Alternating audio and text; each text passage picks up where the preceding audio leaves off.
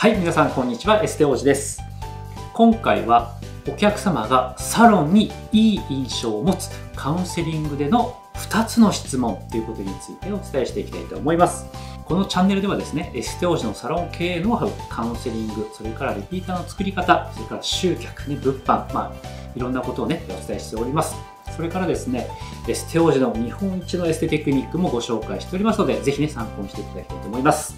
はい、ということで、今回のテーマはお客様がいい印象を持つためのカウンセリングでの2つの質問ということなんですけれども、はい、このテクニックね、ぜひね、覚えていただくと、本当にね、お客様っていうのがエステサロンに対してね、すごくね、いい印象を持つようになります。はい、この2つね、ぜひ覚えていただきたいと思いますので、最後までね、見ていただきたいと思います。まあ、いい印象を与えるための方法っていうのは、たくさんありますよね。たくさんあります。まず、分かりやすいところで言うと、ホームページの作りが綺麗とかね、分かりやすいとか見やすいとかね、読みやすいとか、これサロンに対していい印象を持ったりするわけですよ。それからですね、まあいろんなところでの写真ですね。あなたの写真が綺麗にですね、写っていたりとかすると、あ、この人素敵だなっていうふうに思っていい印象を持ったりするわけですよね。これも SNS でもホームページでも、まあウェブサイトね、いろいろあると思いますけれども、これ全て一緒です。いい写真を使う。ね。はい、内装もそうですよね。はい。綺麗にして写真を撮ってホームページに上げるとすごくいい印象を与えられます。で、実際ね、お客様がサロンにご来店して内装が綺麗だったりすると、すごくいい印象を持つと思うんですね。はい。なので、まあそういったところでもいい印象を与えることができます。それからお出迎えですよね。笑顔でね、お出迎えすることによって、エステージャーに対してすごくいい印象を持ちます。そして、まあ、サロン内でのポップの作り方とか、プレゼン資料がわかりやすい、読みやすいとかね、はい、こういうのもすごくいい印象を持っていただくポイントになりますよね。それからカウンセリング。このカウンセリングでいい印象を持ってもらうためのポイントってなるわけです。これはですね、はい、これ2つあるんですね、2つ。まあ、今回はこの2つをね、ぜひ覚えていただきたいと思うんですけれども、まず1つはですね、どんな時に使うのか。これ、プレカウンセリングなんです。で、もう1つはですね、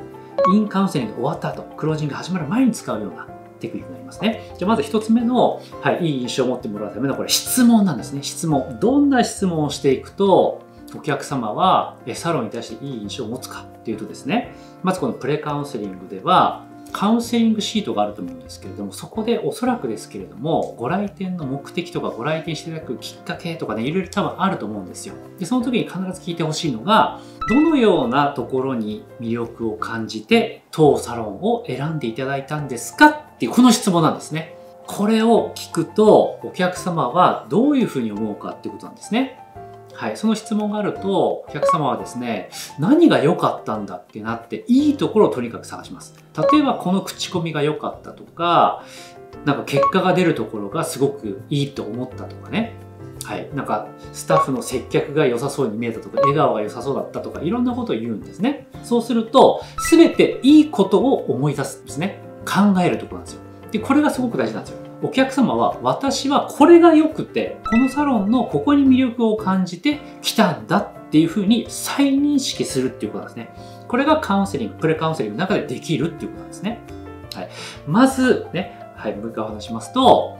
どのようなところに魅力を感じて当サロンを選んでいただけたんですか？ってこの質問なんですね。これぜひね、忘れないように、ぜひプレカウンセリングで聞いていただきたい思います。それから2つ目はですね、インカウンセリング、いわゆる体験が終わった後にお客様にする質問です。まあ、体験が終わって、まあ、お客様が、ま着替え終わったとかってはあると思うんですけれども、そういった時のタイミングでもいいですし、クロージングが始まる前でも OK ですね。その時に、この質問は絶対していただきたいんです。これは何かっていうとですね、今日の施術で良かったところって何かありましたかって、いいところを聞くってことですね。まあ、今日やった施術の中で一番良かったところ何でしたかとか一番気に入っていただけたところは何ですかとかっていうふうにいいところを聞くそうするとお客様は今日の施術の一連の流れの中で何が良かったかを考えるわけですよああれが良かったあのマッサージが良かったなとかね、あそこの脂肪を当て、ね、脂肪をほぐしたところが良かったとか、機械のね、すごく温かさが良かったとか、背中のマッサージが良かったとかね、そういうのをね、考えるんですよ。そうすると、では、ポジティブになるわけですよね。ポジティブになって良かったところを考えるので、その施術に対してですね、好印象を抱きやすくなるっていうことなんですね。はい。そうすると、一貫性の原理っていうのがあるわけなんですね。お客様がサロンに対していいことを言う。ね、例えば最初のプレカウンセリングでも、はい、こういうところに魅力を感じてきた。ね、魅力を感じてきているサロン。それから施術に対してすごく好印象だったっていうことを発したと。ってなってきた時に、最後のクロージングの時に、この施術をね、また続けませんかって言ったらですね、お客様っていうのは、この施術に対していいって言ってるので、断りにくくなるっていうことなんですね。なので、こういったいいところをとにかく言ってもらったりすると、最後のクロージングの時に断りにくい環境ができるんです。そうすると、じゃあまた来週来ようかなとか、契約しようかなっていうふうにね、はい。リピート率とか契約率っていうのはどんどん上がっていくっていうことになるんですね。なので、いい印象を与えるためのこの質問ですね。